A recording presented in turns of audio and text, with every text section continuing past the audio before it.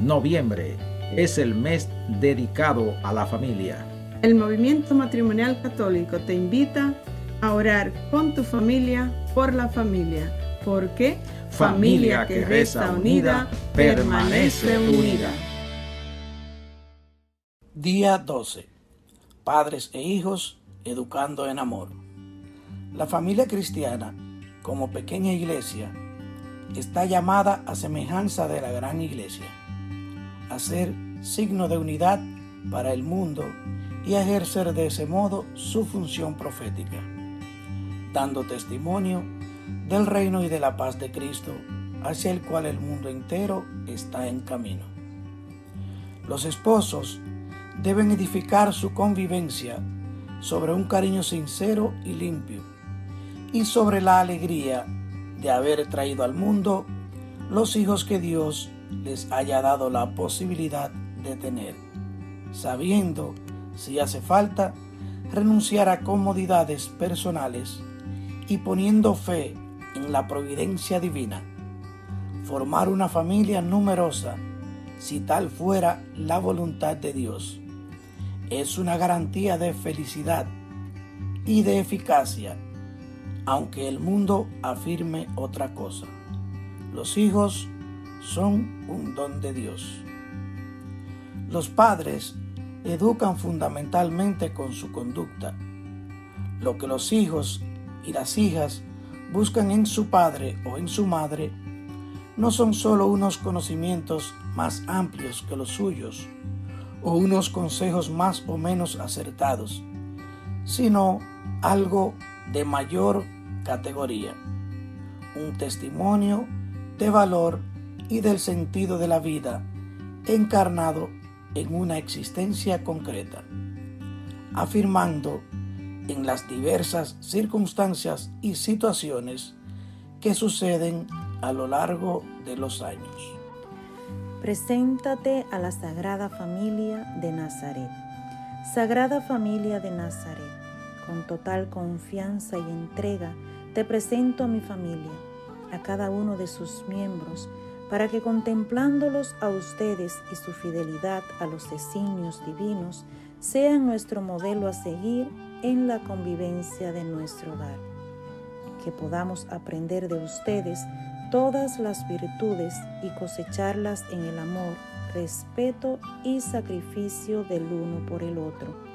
Entramos en tu casa, Patriarca San José carpintero del pueblo, para que nos enseñes el trabajo honesto y amoroso que con tus manos sostuviste a tu familia.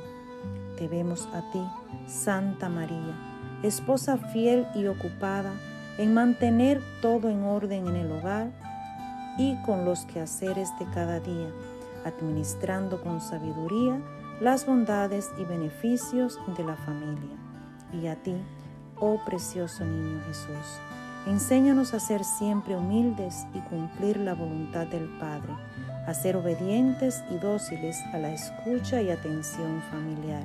Invocamos su presencia, su gracia y su poder divino para que nos ayuden a cumplir con nuestra misión de vida como familia de esta sociedad. Amén. Oración inicial. Sagrada Familia de Nazaret. Enséñanos el recogimiento la interioridad. Danos la disposición de escuchar las buenas inspiraciones y las palabras de los verdaderos maestros. Enséñanos la necesidad del trabajo de reparación, del estudio, de la vida interior personal, de la oración, que solo Dios ve en lo secreto. Enséñanos lo que es la familia, su comunión de amor, su belleza simple y austera, su carácter sagrado e inviolable. Amén. Reflexión día 12. Padres e hijos educando en amor. Los padres son los primeros pedagogos, maestros y acompañantes. Su mano es la mano que nunca debe fallar. Los padres educan en la medida que saben situarse en la realidad de sus hijos, adolescentes o jóvenes. Su experiencia les facilita el camino para comprender a cada hijo como es, aceptarlo sin compararlo o menospreciarlo, respetando, escuchando, comprendiendo e iluminando con la palabra y el testimonio. Los padres con infinito amor y paciencia son los primeros educadores de sus hijos. Es en los brazos de la madre y el padre que los hijos aprenden a creer en Dios, respetar todo lo que es sagrado, rezar el rosario, amar a la Virgen, a los ángeles y a los santos. Es con los padres que los hijos deben aprender la verdad de nuestra fe. Don Bosco decía que educar a los hijos es formar buenos cristianos y ciudadanos honestos. Oración. Sagrada familia de Nazaret, que a tu ejemplo de vida y de comunidad de amor, todas las familias siempre tengan la buena disposición de escuchar y comprenderse cada uno. Que el Espíritu Santo de Dios repose sobre los padres para que sepan dirigir sus acciones y las gracias de la obediencia de María recaigan en los hijos para que siempre estén prestos a aceptar con respeto y amor la voluntad de los padres. Amén. Padre nuestro que estás en el cielo, santificado sea tu nombre. Venga a nosotros tu reino, hágase tu voluntad en la tierra como en el cielo. Danos hoy nuestro pan de cada día, perdona nuestras ofensas, como también nosotros perdonamos a los que nos ofenden no nos dejes caer en la tentación y líbranos del mal. Dios te salve María, llena eres de gracia, Señor es contigo. Bendita tú eres entre todas las mujeres y bendito sea el fruto de tu vientre Jesús. Santa María, Madre de Dios, ruega por nosotros pecadores, ahora y en la hora de nuestra muerte. Amén. Gloria al Padre, al Hijo y al Espíritu Santo. Como era en un principio, ahora y siempre, por los siglos de los siglos. Amén. Oración final. Jesús, mi Señor Ven y quédate en este hogar que tanto clama tu presencia amorosa. Ven, sana y une con tu divino poder que todo lo restaura.